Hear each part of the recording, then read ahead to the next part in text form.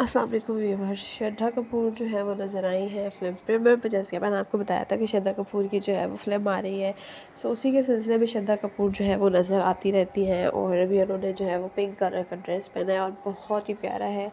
और उसी के साथ उन्होंने जो है वो बहुत प्यारा से हेयर स्टाइल बनाया और श्रद्धा कपूर हमेशा की तरह बहुत सोबर और सिंपल तरीके से नज़र आती है, सिर्फ़ वो झुमका पहनी हुई होती हैं और इसी तरह से उनका जो है वो लुक होता है और आप देख सकते हैं श्रद्धा कपूर की प्यारी सी स्माइल और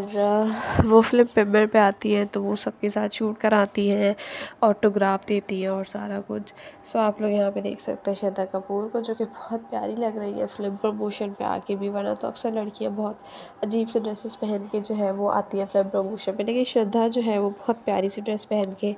फ़िल्म प्रमोशन में आती हैं। सो आप लोग यहाँ पे देख सकते हैं श्रद्धा कपूर को, जो कि अपनी फ़िल्म के प्रमोशन के लिए आई है और बहुत सिंपल और बहुत प्यारी सी लग रही है। सो ये थी वीडियो, चैनल को सब्सक्राइब कीजिएगा। तब तक के लिए हाफिज़।